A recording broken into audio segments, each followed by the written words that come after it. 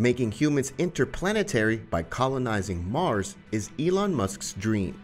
SpaceX's Falcon 9 has been around for quite a while now, but it's the new gleaming stainless steel rocket that has caught the attention of many at the southernmost tip of Texas. Dubbed the Starship, this long awaited rocket is on the verge of transforming the space race. Is it any close to the Saturn V that lifted NASA's Apollo missions to the moon? Um, to be honest, it's something we've never seen in human history. The new SpaceX rocket, at approximately 400 feet, will eventually be taller than any other rocket made before. And with a whopping 33 engines, you already know it will deliver twice the thrust. Hmm, that's interesting. That's why in this video, I'll tell you all you need to know about Elon Musk's new rocket, particularly how it's about to change the game in the space industry. I'll also explain why Elon's new toy has been causing sleepless nights for Jeff Bezos after Musk just upstaged him yet again in the so-called space race recently. Remember, this is your favorite hub for all matters related to investing, e-commerce, and entrepreneurship. Before we continue, take a second and hit the subscribe button if you're yet to. Of course, you don't want to miss any of our daily interesting videos. Astronauts and like-minded people say the Starship could have a far more immediate impact on the space industry that has already felt the weight of Musk's ambitions. Yes, and Musk, as we all know him, never shies off from making bold decisions. In fact, those who admire him have claimed that he's about to change the economics of the launch business. Did you know that this rocket has the power to carry as much as 100 tons into low orbit around the Earth? Straight. In fact, Peter Diamandis, a US space entrepreneur, says it's game over for the existing launch companies. They'll have to live in the shadows of SpaceX's glory for a long time before they can match Musk's new rocket. There's no vehicle out there on the drawing board that could compete with the Starship. For two decades, Elon Musk has disrupted the aerospace industry and confounded his critics. You see, a little over 10 years ago, SpaceX was on the verge of failing, but luckily it was saved then by a NASA contract to develop rockets to supply the International Space Station, also known as simply the ISS. Today, SpaceX has since emerged as the strongest performer among new space commercial operators, even outperforming Blue Origin, the aerospace manufacturer and suborbital space flight services company founded by Jeff Bezos in 2000. Musk's venture has put itself in a commanding position in the new commercial space industry at a shockingly high speed. It's only 13 years since it became the first private company to launch its own rocket into orbit, breaking into an industry previously dominated by nation states. Most interestingly, it's also leaped ahead of contractors such as Boeing and Lockheed Martin, whose joint venture, United Launch Alliance, had carried the flag for US space launch, but while using Russian engines. Here's why the Starship has been destined for greatness. Unlike anything NASA has ever built, the Starship is designed to be fully reusable. According to Mr. Musk, a fully and rapidly reusable rocket is the only way humans can hope to afford deep space exploration in search of new human habitats beyond Earth. Yes, to be precise, the rocket has to be reusable in a way that is like an aircraft. The billionaire indeed emphasizes that this is the fundamental holy grail for making life multiplanetary.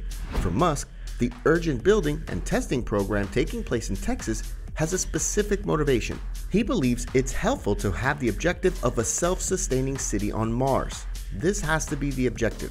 SpaceX's ascendancy has been underlined over the past six months by a striking series of wins. Of course, we must mention the $2.9 billion contract awarded by NASA to use the Starship to land its astronauts on the moon as early as 2024. The space agency decided to pick only one supplier for this program after earlier indicating it would select two, which brought the warning from Blue Origin. NASA officials point out that they've only awarded SpaceX a single mission, leaving them open to choose other suppliers for future landings. However, Blue Origin still claims that adapting its systems to work with the Starship will force design changes that will lock the agency into dependence on SpaceX in the long term. If things keep heading in this direction, the SpaceX will be the only game in town. Blue Origin continues to cry foul over their losses and has not hesitated to make a counterclaim. They believe SpaceX could end up with monopolistic control of US deep space exploration. Are you enjoying this video? Be sure to like and hit the subscribe button to get the latest updates from us. Now back to SpaceX and its game-changing rocket. Musk went on to upstage Bezos a second time late in September. It must be frustrating for Bezos, who has not had an easy time in recent weeks. Just weeks before, the Amazon founder and Sir Richard Branson, founder of the American spaceflight company Virgin Galactic, they each had made personal trips to the edge of space on their company's respective rockets. But the brief moments they enjoyed in microgravity were eclipsed when SpaceX carried four passengers more than five times higher for a three day joyride around the Earth, making them the first all civilian crew to reach space. SpaceX also announced the first 500,000 orders for its Starlink broadband network. This makes it the first in a new generation of broadband communication companies operating from a constellation of satellites in low orbit, around 500 kilometers above the Earth. And last week, NASA said two astronauts who had been scheduled to fly on a Boeing spacecraft would be switched to SpaceX's spaceship instead. The company that defined an earlier era of aerospace has had to deal with too many technical obstacles to carry astronauts on its first commercially developed spaceship. This has, in turn, put it well behind what until recently was just a scrappy startup. All in all, SpaceX points to its track record of solving technological challenges. The Falcon 9 rocket system, which is the first reusable orbit capable rocket ever built, has performed 125 commercial launches, 67 of which were used with a reused rocket. And yes, the Falcon Heavy is currently the most powerful rocket in the world, able to carry a 64 ton payload with a thrust equivalent to 18 747 jets. Despite his successes in the space industry, it's pretty obvious that Musk's rivals won't let him walk away with all the glory that easily.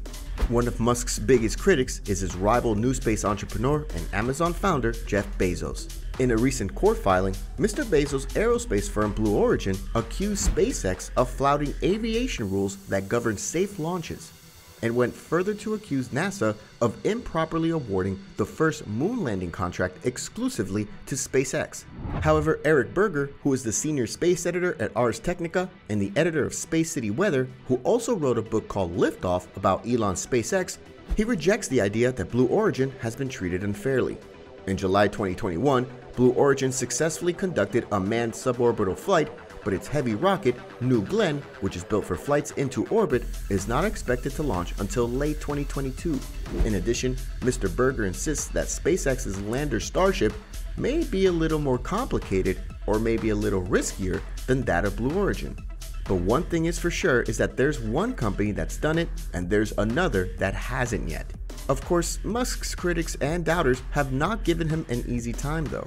For instance, many experts question whether a large rocket designed to colonize another planet can double up as an all-purpose transport for more varied and mundane tasks closer to Earth.